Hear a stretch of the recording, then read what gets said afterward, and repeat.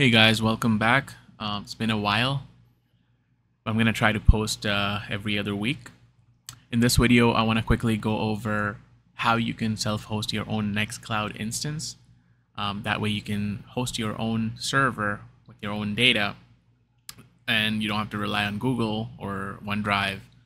Uh, so without any further ado, let's get started. Um, in this video, I have used Ubuntu 22.04 instance. Um, it's in a virtual machine hosted on VMware. Um, I am already SSH into the virtual machine. I'm going to start off with the steps. Uh, first things first, we're going to run apt update, make sure everything is updated. All the uh, source lists are updated.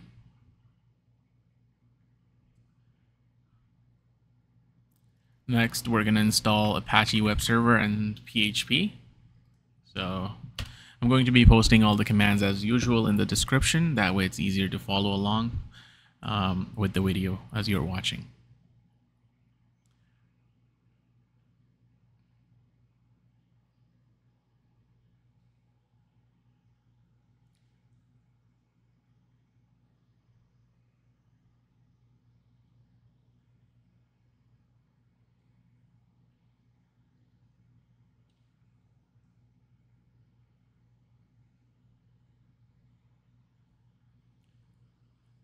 All right. Um, next step is to install our SQL server. Uh, we're going to use MariaDB server.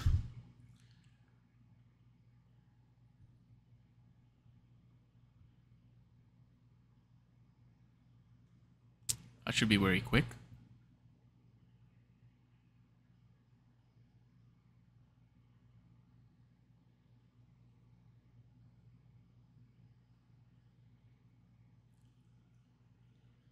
Next, we're going to log into SQL Server. Uh, we're going to create a database for Nextcloud. We're going to create a user uh, and grant access to that database to that user and uh, exit out of SQL. So first things first, let's uh, log in.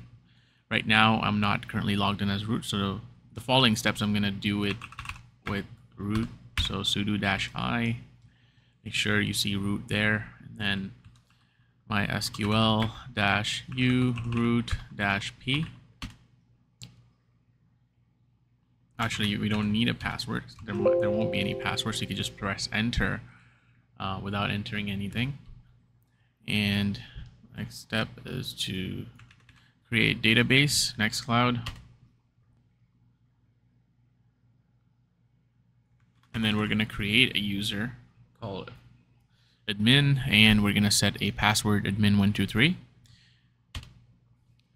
Next, we're going to assign that user full access on the Nextcloud database. So commands will be in the description, so you can literally copy and paste. Um, next step is to flush privileges. And then next would be exit. So we have our database created.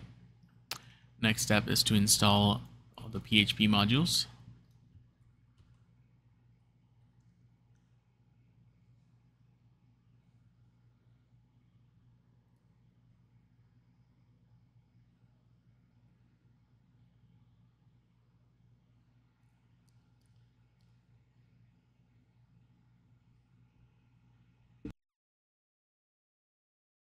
Okay, once that's done, we would go to our HTML directory, which is cd slash var slash www slash HTML. Enter. Next, we're going to install the, uh, we're going to download the Nextcloud instance. Um, sudo and then https, whatever um, the URL is. So I'm going to call it wget. That way it gets the zip file. There we go. So if I click ls, it's downloaded Nextcloud version 24. Um, I'm going to install unzip because it doesn't come default with Ubuntu. So in my case, I have already installed it. But this is the command you're going to need um, if unzip isn't present. And then I can do unzip and then do the Nextcloud 24. This should create a Nextcloud directory within our HTML directory and it's going to extract everything to it. Once we have that, next step, we want to change ownership of the Nextcloud folder. Make sure um, www. Uh, www.data, which is the web server, has full access. We're going to make it the owner of the directory. And uh, next step would be to create the Apache virtual host now. So I'm going to create a nextcloud.conf and I can go edit that file, just sudo nano nextcloud.configuration. And you want to put you you want to create your virtual host and put all these details. I'm going to put that again in the description so you can copy and paste it. Um, this, this is basically server name is your nextcloud.itera.ca. It's for me, it'd be different for you. Um, document root is the directory where we have our Nextcloud install extracted. Again, directory, same thing. Just copy exactly the same way as this one is. And you can press Control O and Control X. Once you have that file saved, next step is to actually enable that configuration since it is created. So I would enter enable site nextcloud.conf. Before we do that, we also want to enable rewrite mo mod. Um, for me, it's already enabled. Uh, it won't be enabled for you. Once you run those two commands, simply restart Apache server. So I'm going to call the service Apache 2 restart. Uh, there's an additional configuration that we need. Uh, we need to go to nano slash etc slash apache apache2.conf and we need to search for override by pressing control plus W.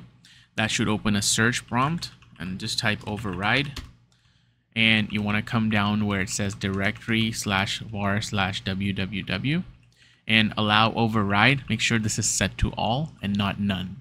It should be set to all uh, in order for the configuration to work. So once you have that done, press Control plus O, press Enter, and then press Control plus X. That way, that configuration is saved. Next thing, I'm going to restart Apache server one more time. And um, one more thing we need to do is since we have defined server name in our virtual host file, um, we are going to have to create a DNS record now for the web. So I already have my Pi-hole set up here. Um, nextcloud.itera.ca. Pi-hole is my DNS server. Um, and you can set up your internal IP to point to nextcloud.itera.ca. Once you have that done, um, it should be pretty simple. Um, next, we can visit the website. And there we go. It is going to prompt you to create your Nextcloud admin, uh, specify some database uh, parameters. So in this case, I'm going to go ahead and uh, create my password and my admin account. We can leave data folder as is. This is going to be pointing to the Nextcloud folder that we had extracted and there should be a data folder within it. Database user, in this case, we have admin. Um, our password was admin123. Our database name was Nextcloud. And I'm going to click on install.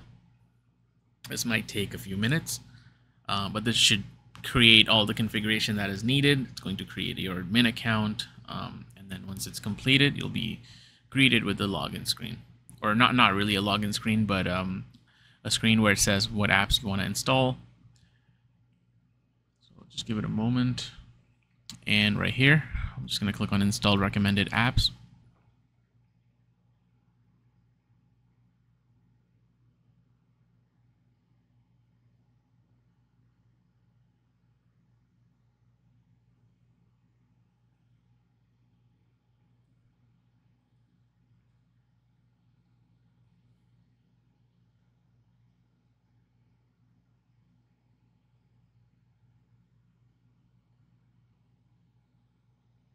All right, there we go.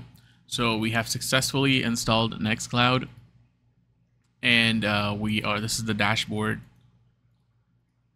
As you can see what it can do, um, we have files, we can upload files here.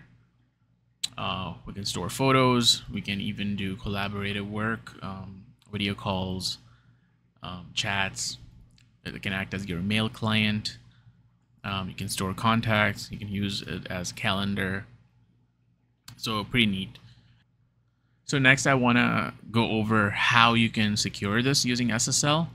Uh, as you can see right now, our configuration is solely uh, working on port 80, which is definitely not secure.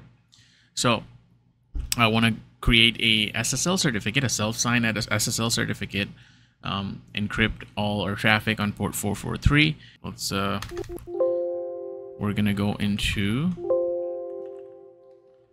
cd slash etc apache 2 sites available. Ls so this is our nextcloud configuration that we just created. What we want to do next is we're going to create a copy of the same configuration. Um, cp called nextcloud conf and then i'm going to call it nextcloud ssl.conf so that configuration is going to be for the ssl certificate and uh, before we go into that file and edit it, you want to do uh, nano default SSL, which is this file. Um, the reason we're visiting this file is so that we can get the SSL. We're going to use the self-signed certs that are already present, and this this SSL will give us the path uh, to that SSL. So uh, if I go nano default SSL, um, we can see it says SSL engine on and uh, certificate files are within these directories. So I'm going to copy that. I'm going to put that in Notepad for now because I will be needing it in our Nextcloud SSL configuration. I'm going to minimize that, Control X. Uh, we don't want to save anything. Uh, I'm going to go nano nextcloud ssl.conf. Um, so a few changes we want to make here. We're going to call this 443.